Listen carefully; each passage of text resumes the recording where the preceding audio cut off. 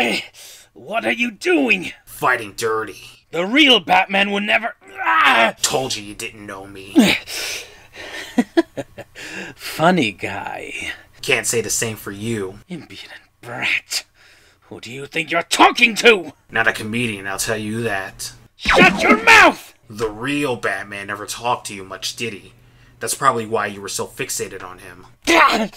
Don't play psychoanalyst with me, boy. Oh, I don't need a degree to figure you out.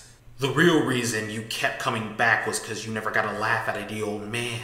I'm not hearing this. Get a clue, Clowny. He's got no sense of humor. He wouldn't know a good joke if it bit him in the cape. Not that you ever had a good joke. Shut up. Shut up! I mean, joy buzzers, squirting flowers, lame! Where's the A material? Make a face, drop your pants, something! Show yourself! You make me laugh. But only because I think you're kind of pathetic. Stop that!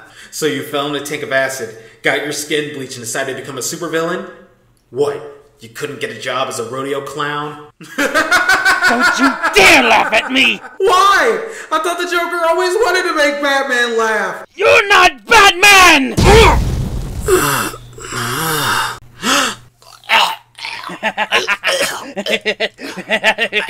Come on, McGinnis! Laugh it up now, you miserable little punk! Laugh!